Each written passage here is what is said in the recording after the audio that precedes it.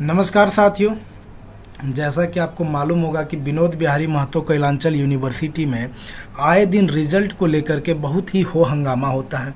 चाहे वो पीजी के छात्र हों, यूजी के छात्र हों और बीएड के छात्र हों। खास करके अभी पिछले छः महीनों में यूजी और बीएड के छात्रों के साथ बहुत ही नाइंसाफ़ी हुआ है। चाहे वो यूनिवर्सिटी के तरफ़ से हो, चाहे छात्र, छात्रों के तरफ़ से हो, किसके तरफ़ से हुआ, जब तक कॉपी का पुनः मूल्यांकन नहीं होगा तब तक पता कर पाना बताना संभव नहीं है। लेकिन अब यहाँ पे एक यूनिवर्सिटी के तरफ़ से एक बड़ा आ, कदम उठाया गया है वीसी के तरफ़ से बड़ा कदम ये उठाया गया है कि इन्होंने कहा है कि खराब रिज़ल्ट पर बीवी में धरना हुआ तो प्राचार्य पे होगी कार्रवाई। जैसे कि आप लोग को मालूम होगा, अभी हाल ही में बीएड में काफ़ी दिन तक लोग आमरण अनशन पर बैठ गए थे। यूजी का जब रिज़ल्ट खराब हुआ था तो बहुत सारे छात्र रास्ते पे बैठ गए थे। तो इस तरह का जो धरना प्रदर्शन हो रहा है, इसको रोकने के लिए विनोद बिहारी महतो कोयलांचल यूनिवर्सिटी के वीसी जो सुखदेव भोई जी हैं, उन्होंने एक बड़ा कदम लिया है। उन्होंने ये बताया कि यदि बी बी एम के मतलब B B M K U में, किसी भी, चाहे यू जी हो पी जी हो बी एड किसी भी छात्रों का रिज़ल्ट खराब होता है तो ये कॉलेज के प्राचार्य का दायित्व तो होता है कि वो जो बच्चों को संभालें, ना कि बच्चों बच्चों को बताएँ कि किस वजह से रिज़ल्ट खराब हुआ है, ना कि सीधा उसको यूनिवर्सिटी भेज। दें देखा यह जाता है कि यूनिवर्सिटी में जब बच्चे जाते हैं तो वहाँ पे तालाबंदी कर देते हैं।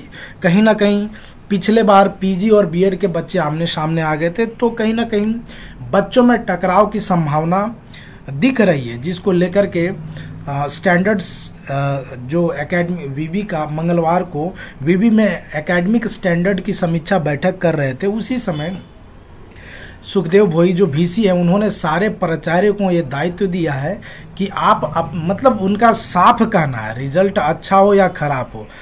आपके कॉलेज के बच्चे यदि यूनिवर्सिटी में आते हैं तो कहीं ना कहीं इसका जिम्मेवार कॉलेज के प्राचार्य अब बताइए प्राचार्य करेंगे क्या? अब जब बच्चे जाएँगे कॉलेज प्रिंसिपल को बोलने के लिए कि, सर, हम तो सही लिखे थे, मेरा रिज़ल्ट ख़राब हो गया। तो प्राचार्य क्या बोलेगा कि, हम थोड़े कॉपी चेक किए हैं, जाओ तुम लोग यूनिवर्सिटी अब यूनिवर्सिटी में ही प्राचार्य पे तो समझ में नहीं आ रहा है कि किस तरह का ये कदम उठाया गया। हालाँकि मैं सभी बच्चों से ये आग्रह करना चाहता हूँ कि आप लोग अच्छे से पढ़ें, अच्छे से लिखें। आपका रिज़ल्ट ख़राब नहीं होगा। मेरा कहने का ये मतलब नहीं कि आप ख़राब लिखे होंगे तो आपका रिज़ल्ट ख़राब हुआ होगा। यदि आप बहुत अच्छे से पढ़ के जाते हैं तो रिज़ल्ट ख़राब होने की संभावना कम होती है। उसमें आपको लगता है कि नहीं, हम सही में हमारे साथ जाती हुआ है तो आप अपना कॉपी का पुनः मूल्यांकन करवा सकते हैं स्कूटनी करवा सकते हैं, जिससे कि आपका रिज़ल्ट में सुधार हो सकता है। साथ ही साथ डिग्री सेमेस्टर वन के बच्चों के लिए degree semester one UG semester one के बच्चों, बहुत सारे बच्चों का एडमिशन हो चुका है। अभी इस जो फिफ्थ लिस्ट है, उसका एडमिशन चल ही रहा है।